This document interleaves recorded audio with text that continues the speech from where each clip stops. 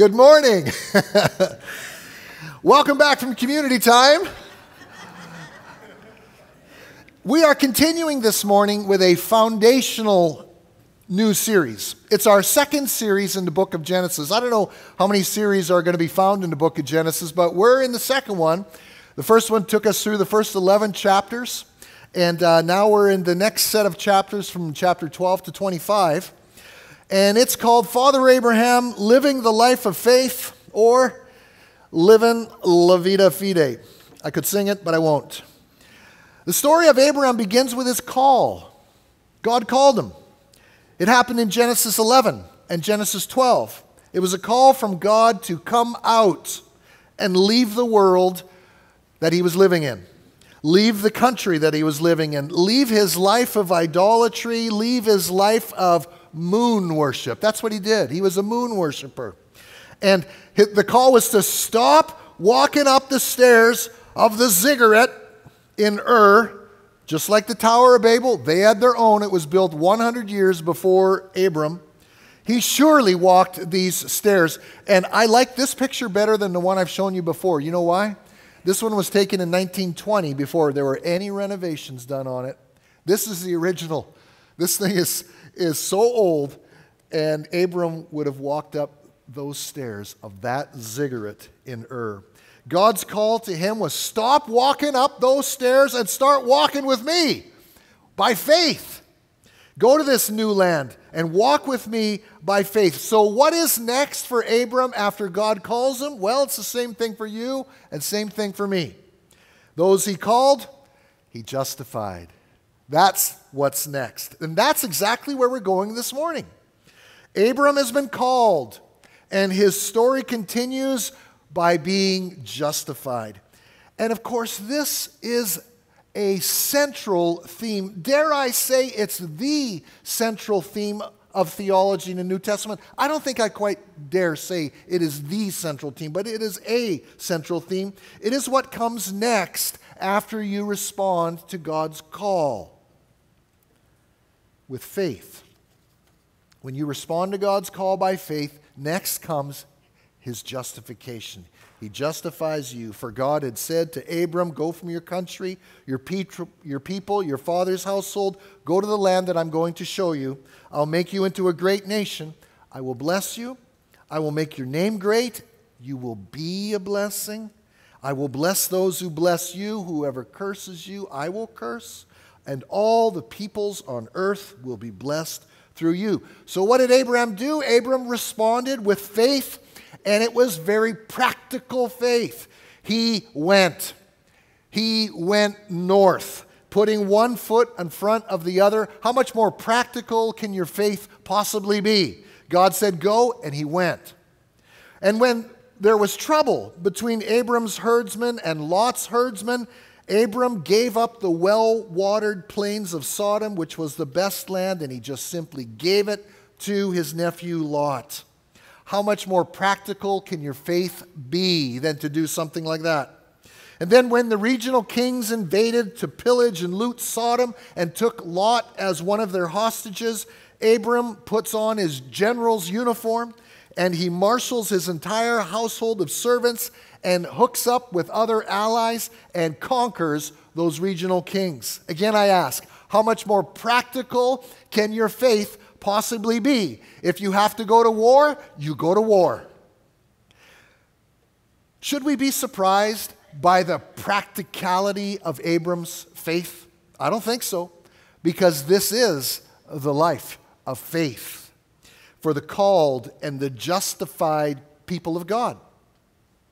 Some people think that having faith in God means adopting a barren life of contemplation, uh, going somewhere private and far away and just simply think about these abstract propositions A, B, and C and quietly mull them over in your mind until you fall over of old age. That is not the Christian faith.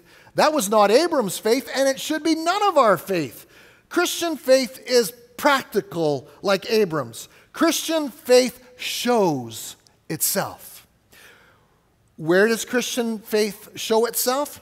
Well, it shows itself everywhere. It shows up in the home, it shows up in the warehouse, it shows up at the office, it shows up on the street. When does Christian faith show up? It shows up always, every single day of the week. To whom does the Christian faith show itself? It shows itself to everybody. To close family members, it shows to your wife, to your husband, it shows to complete strangers and everybody in between. Last week we saw how God comforted Abram in the dark night of his soul. Do you remember it?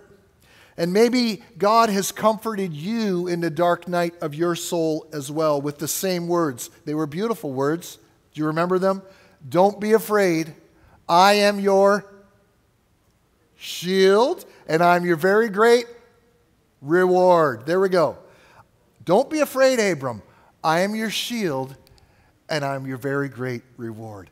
Let's meditate and think on the meditate. You can meditate on that. There is much comfort to be found in these words and much comfort to be found in God's words, but we're going to now pick up the next part of this passage, what follows immediately after. Here it is.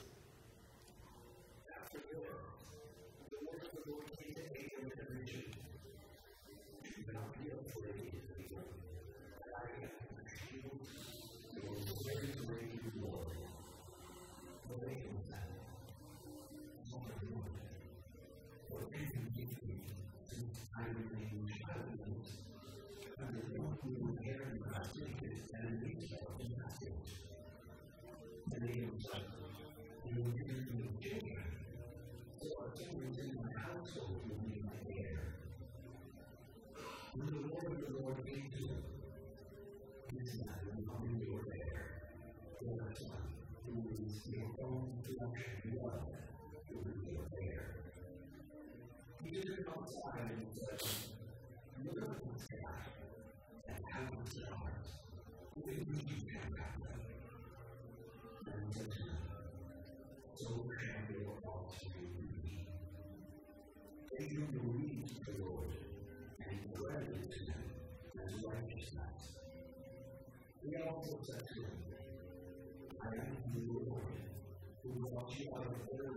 Chaldeans to give you this land to take possession of it. But Abram said, Sorry, Lord, how can I know that I will gain possession of it? So the Lord said to him, Bring me Hagar, a goat and a lamb, each three years old, along with a dove and a young pigeon they would draw all things to them and the halves opposite each other. But for itself, he did not cut it half. Then words of prayer came down on the promises, Abram drove it away.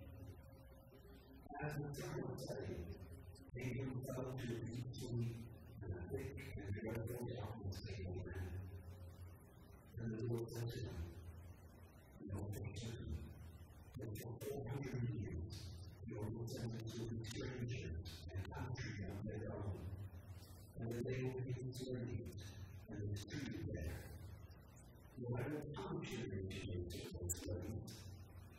Afterward they will come with great possessions. You, however, your ancestors in peace, and be buried at your old age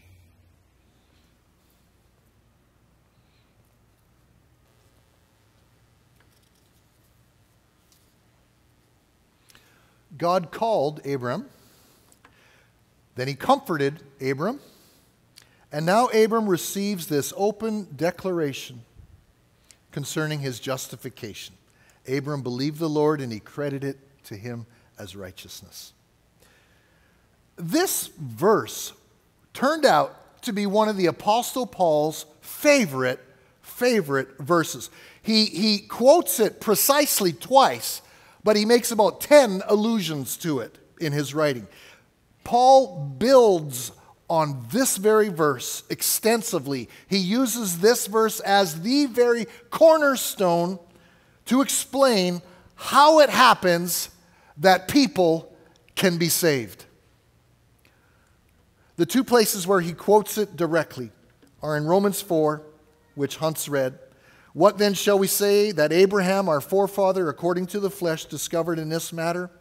If in fact Abram was justified by works, he had something to boast about, but not before God.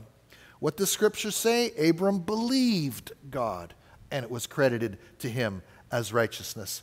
And Galatians 3 reflects very much the same reasoning.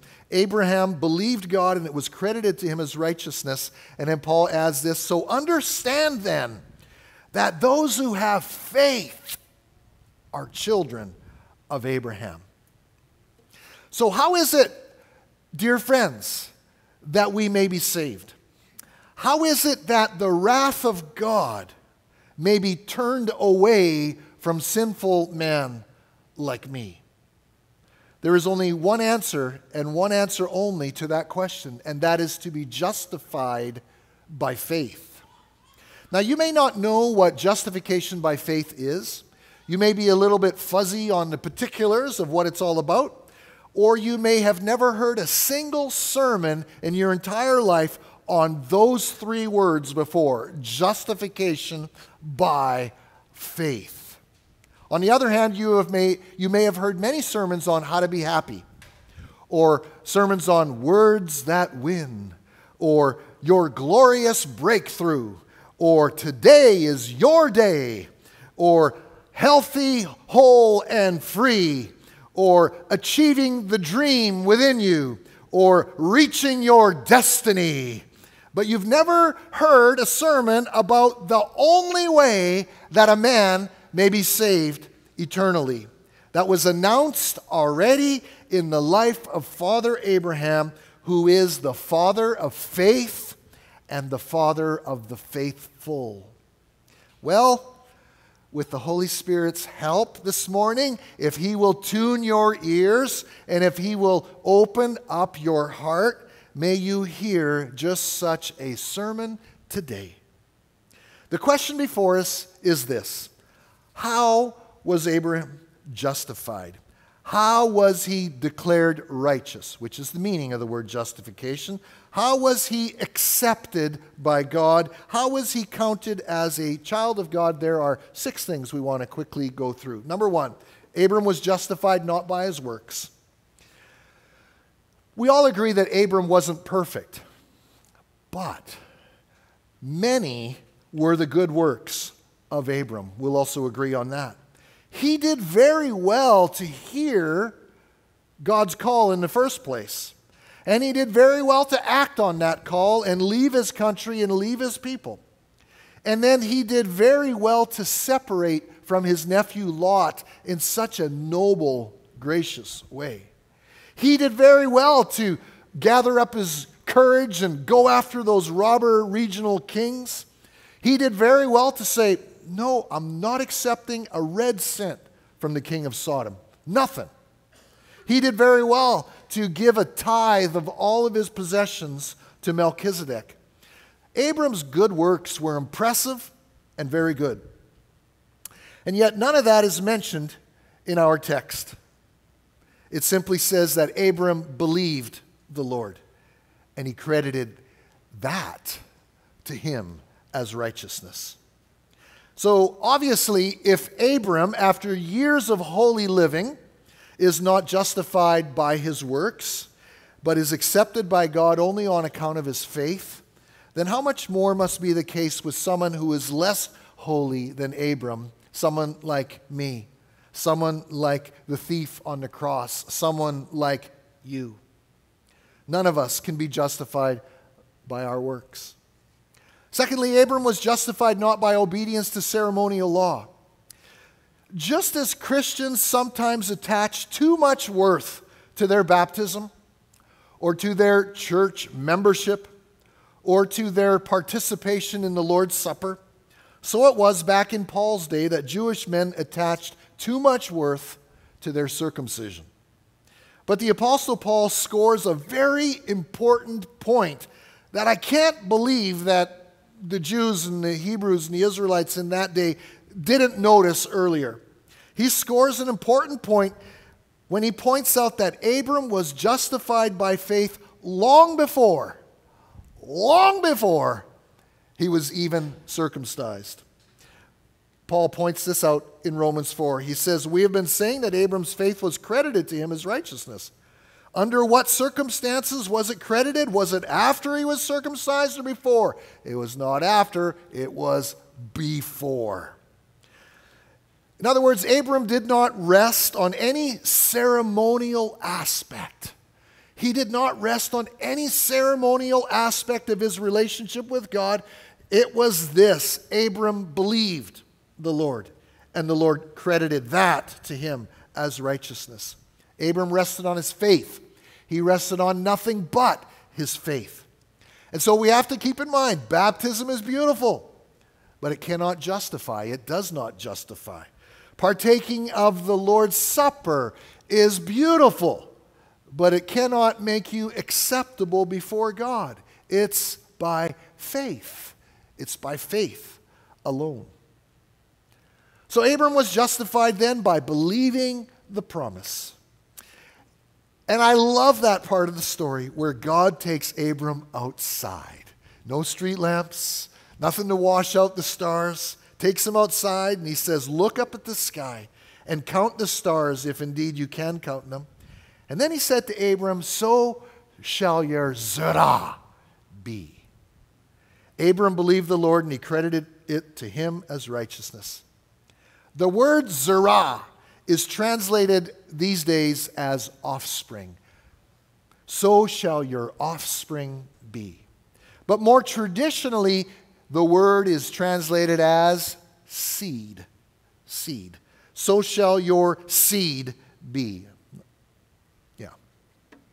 Again, we turn now to the Apostle Paul, who makes a critically important point that will be missed by all of us if we just look at this. So shall your Zerah be. The point that the Apostle Paul makes is this the promises were spoken to Abraham and to his seed. Scripture does not say, and to seeds, plural, meaning many people, but it says, and to your seed, Zerah, meaning, now get, get a load of this, meaning one person who is Christ. Wait a minute. So shall your Zerah be. And Paul interprets that meaning one person who is Christ. This is so amazing, it makes your head hurt after it sinks in. If your head doesn't hurt right now, it hasn't sunk in. So let me explain it. The Zerah so shall your Zerah be, the seed, the offspring, which God is promising to Abram, is not only the multitude of descendants to come from Abram, but it is also the one through whom the whole world will be blessed, who is Christ. And here's the part that makes your head hurt.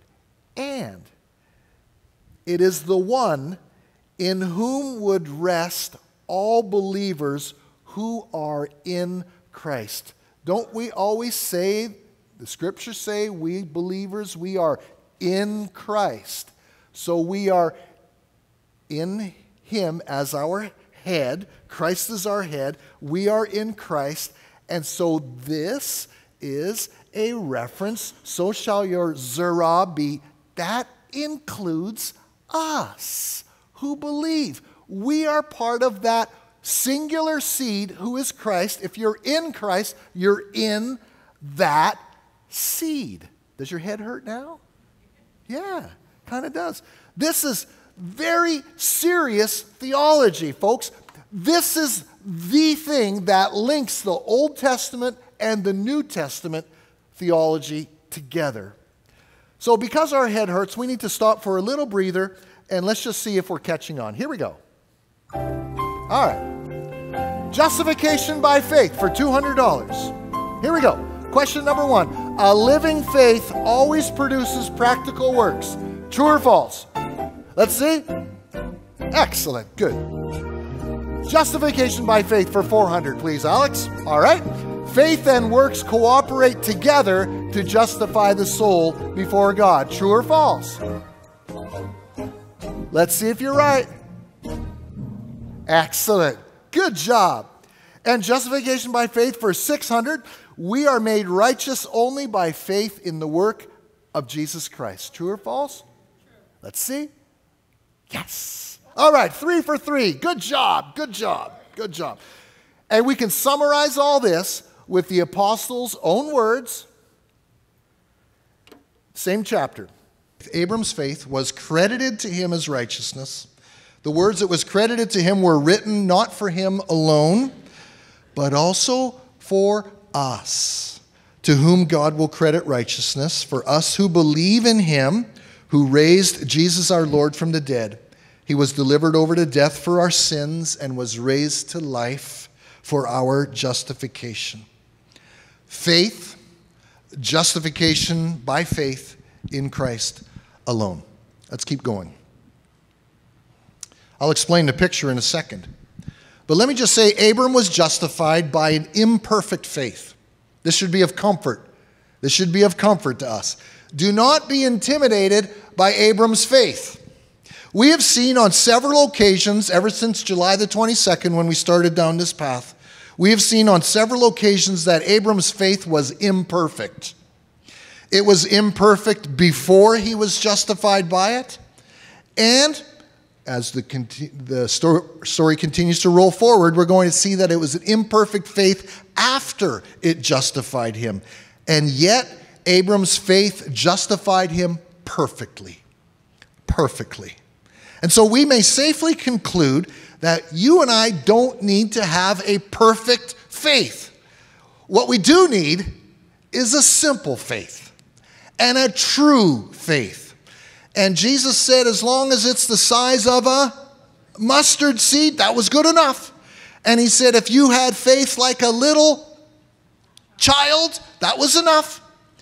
But he also said, every day, make sure you pray, Lord, increase our faith. And so should we.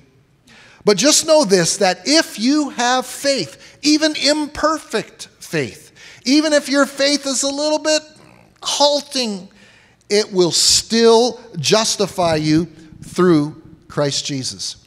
Now, the picture just because your hand is weak and unsteady, the medicine will still work.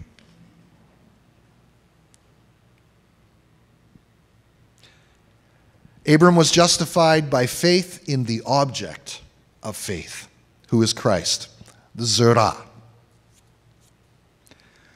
Faith by itself doesn't mean a thing. There are faith teachers these days that talk about faith like it's the thing. It's the thing. It's everything. That's not true. Faith does not exist in a vacuum. Faith in a vacuum is meaningless. Faith in a vacuum is a joke. Faith cannot stand on its own. And faith will never be its own righteousness. The nature of faith is to look beyond yourself, to look outside of yourself to the object of faith. Now, it helps if you were pretty good in grammar as a kid. The object of faith, who is Christ, His work, His atonement, His resurrection. When some faith teachers say to put your faith in faith, they are so far off base. Faith in faith is meaningless. It's, it tears out the very heart of the gospel. And sadly, that's exactly what is preached in many a sermon and in many places instead of true faith in Jesus Christ as the solution for man. Instead of looking to Him, a lot of times in sermons these days, you're instructed to look in the mirror. I'm going to quote a paragraph from the most popular sermon on YouTube. This is the number one sermon on the entire YouTube. It says this Get up in the morning and invite good things into yourself. I am blessed. I am strong. I am talented. I am disciplined. I am focused. I am prosperous. When you talk like that, talent gets summoned by Almighty God go and find that person. Health, strength, abundance, discipline starts heading your way.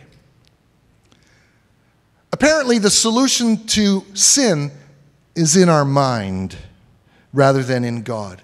The solution to sin is to elevate your self esteem. The solution to sin is just to say the right words to yourself.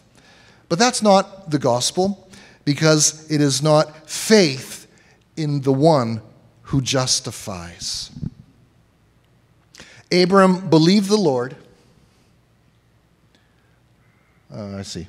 Abram believed the Lord and he credited it to him as righteousness. This is the message of the Bible, laid down as the foundation in the Old Testament, and then it is built up into this magnificent structure and temple in the New Testament. And it boils down to one sentence Man may be perfectly justified by God through faith in Jesus Christ. That's the gospel. But the question that we all want to have answered is this at least I do. Did Abraham understand this? Or I should say Abram, because his name has not been changed yet. Did Abram understand this? How much did Abram understand? Did God open up to him and tell him about the promised Zerah, the promised seed? I think the answer is clearly Abram knew a whole lot more than we give him credit for. And God told Abram a whole lot more than we give him credit for. Abram understood very well that he would have a offspring through whom all the world would be blessed.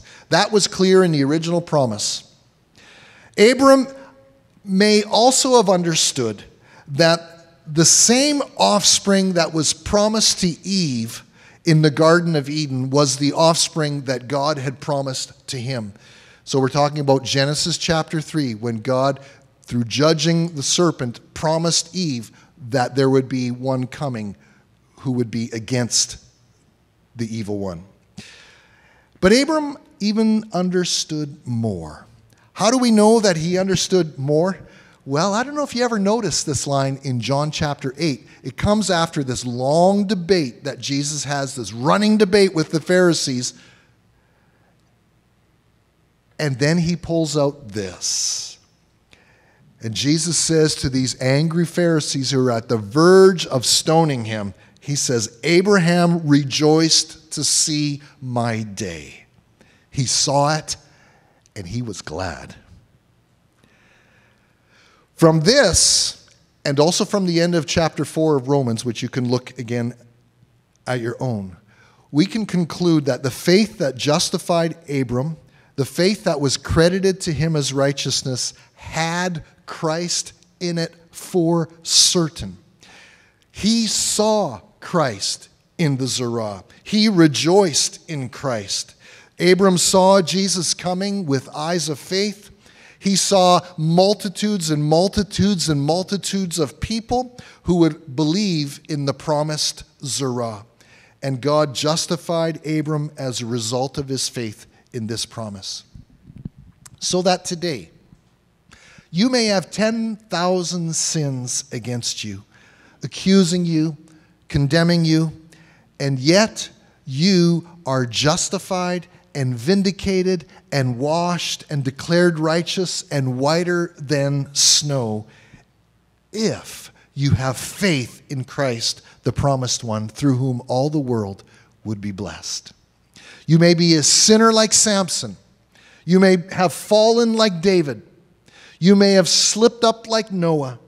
But if you have true and living faith, your name is written down among the justified, God has accepted you, and He sees the beautiful, shining gem of faith that glows and gleams in your heart. He takes you not for what you are, but He takes you for what is in your heart. He covers your sin with His atoning blood. He dresses you in the finest clothing of righteousness. He sees you in the beloved. He sees you accepted in the great I am.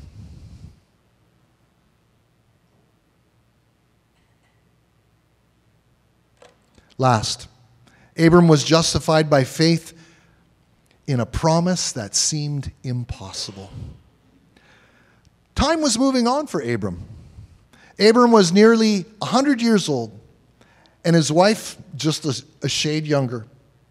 Not only were they old, but Sarai, which is the way you pronounce it before her name was changed, Sarai was, by this point in her life, understood to be barren, unable to have children. So you've got age and you've got barrenness. You might refer to Abram and Sarai, their potential to have children, as twice dead. And yet it says, nevertheless, Abram believed. And the faith that justifies you and me, this is very important. The faith that justifies you and me has to be cut from the same cloth, exactly the same cloth, so that you can say, Let it be known far and wide, let the mountains shout to the valleys this very truth. And the truth is this that it is impossible that I should ever be saved. It is impossible because I am twice dead in these two ways. I'm dead in my sinful nature, I know that, and I'm dead in my sinful behavior. I'm dead twice, just the way Abram and Sarai were dead. I can't save myself. I know that. I know that in my flesh there's nothing good. I've proven that 10,000 times. I know that under the law's condemnation, I'm just a broken, broken man. I'm corrupt. My sinful nature is a wreck. And yet, for all of that, I do believe one thing. I believe that through the life of Christ, I shall live. That I shall inherit the promised blessing of Abram, and I will be one of those stars, one of those innumerable stars in the sky, that I am part of the Zerah. I am part of the offspring. I'm part of the seed with Christ. And I love the words of this hymn, My faith looks up to thee. That's where the star, that's where the Lord reigns up above. That's where the stars are. My faith looks up to thee, thou Lamb of Calvary, Savior divine. Now hear me when I pray. Take all my guilt away. Oh, let me from this day be wholly thine. In the teeth of all of my sins and all of my accusations of conscience, I believe in the one who justifies the ungodly. This is again one of Paul's arguments. To the one who does not work but trusts God who justifies the ungodly, their faith is credited as righteousness. That word ungodly is really important because we don't believe in a Savior of saints. You know why? Because that might be possible. But we believe in a Savior of sinners because that is not possible. That is impossible. This is the faith that justifies. So, in conclusion, I will ask this Can you believe it? Can you believe it? Can you believe that despite the fact that you're a sinner, that you are nevertheless a child of Abraham's? Can you believe that you are a son, a daughter, an heir, an heir of God, a joint heir with Christ Himself? Can you believe that the promised land of heaven is yours with all of its joys and ecstasies, in all of its infinities of bliss. Can you believe that you'll be with God, with Christ, with the Holy Spirit, and all of His glory? Can you believe it? This is the faith that justifies. This faith is so high, it is so wide, it's so deep, it's so long, it's so broad, it's so large, it's like the sand on the seashore. It is like the stars in the sky, and so shall your offspring be. Is that you? Are you in there in the Zerah? Are you in there? Are you the offspring of Abram or no? Can you legitimately say, Father Abraham had many sons, and I am one of them? I am one of them. All this mercy, to be washed whiter than snow, all this righteousness to be made perfectly holy, all this love that streams from a fountain that never runs dry, all this protection and providence to watch over your coming and going both now and forevermore, all of this heaven in the life to come. Can you believe it? A harp for you, a crown for you, a palm branch for you, a throne for you from where you can clearly see the face of Jesus, made like as unto him, reigning with him. Can you believe it? Is that you there? Say it with the apostle then. Let's say this together. Together. The life I now live in the body, I live by faith in the Son of God, who loved me and gave himself for me. We're going to say it again and we're going to say it with all of our heart. Believe your God now. The life I live in the body, I live by faith in the Son of God, who loved me and gave himself for me. May the Holy Spirit lead you to a place of faith and trust in Him. You know what Jesus said in John 6? This is the work of God, to believe in Jesus Christ, whom He sent. I don't know whatever you think the work of God is, but that's the work Jesus said we have to do. Just believe. Just believe. Give yourself to Him alone, and He will save you. He doesn't ask one iota from you except faith. That's the only thing He asks. And even faith, He's willing to give that to you as a gift. If you have the tiniest amount of imperfect faith in Christ, all of your doubts combined with all of your sins, combined with all of your trials, combined with all of your troubles, cannot and will not ever shut you out of heaven. This is the faith that justifies. Can you believe it? Then let's pray. Lord, we thank you for the cohesiveness between the Old and the New Testament. We thank you that there is no change there between faith in the Old Testament and faith in the New. We thank you, Lord, that the very one that you chose at the beginning to become the father of faith is really the father of us all because he already saw the day of Christ coming and you informed him of so much and he put his faith in you, and you credited it to him as righteousness. And now, as we fast forward all these years to this very day, you ask each one of us the very same question Can you believe it? Do you believe that you will be part of this offspring, this Zerah, that you are in the Zerah, that you will be like one of the stars in the sky, like one of the grains of sand on the seashore, belonging to me, a child of faith? Lord, I thank you for this um, invitation, and I thank you, Lord, for the strength, the security, the joy, the peace, and all the good things that flow from our faith in you. We believe. Help our unbelief, increase our faith from this moment on. In Jesus' name, amen.